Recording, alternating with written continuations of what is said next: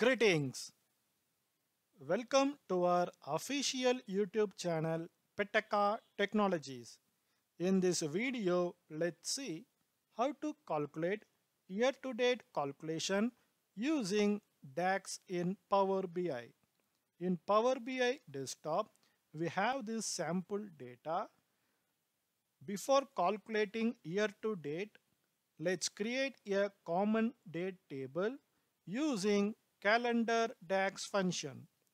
Create a new table using this new table option. We name this table as calendar. We use calendar DAX function. Calendar DAX function requires two parameters. First one is start date. In start date parameter, we use min DAX function to get minimum date in date column from sheet 1 table. Close the parenthesis of min DAX function comma. In end date parameter we use max date function to get maximum date in date column from sheet 1 table close the parenthesis of max function and close the parenthesis of calendar DAX function. Now a new common date table has been created. Next in report view create a table visual to visualize data. Let's drag date column from calendar table and place it in columns. We can also remove unnecessary columns from this list. Let's remove quarter and day. Drag sales column from sheet 1 table and place it in columns. Now we can see year, month and sum of sales but sum of sales details are not correct because we have not created relationship between common date table calendar and sheet 1 table. For creating relationship go to model view. If you notice here there is no relationship between sheet 1 table and calendar. Let's create a relationship. For that select date column from calendar table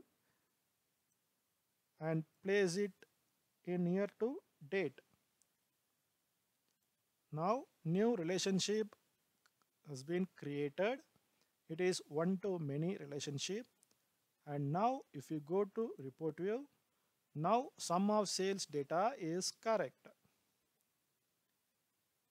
Let's create a new measure to calculate year to date using DAX select new measure and name this measure as YTD sales. To calculate year to date in Power BI, we use total YTD DAX function. Total YTD DAX function requires expression, dates, and filter and year end dates are optional but two parameters are compulsory. In expression parameter we use sum DAX function to calculate the total of sales column from sheet 1 table close the parenthesis of sum DAX function in dates parameter, we use date column from calendar table and close the parenthesis of total YTD. Let's commit it. Now select the table visual.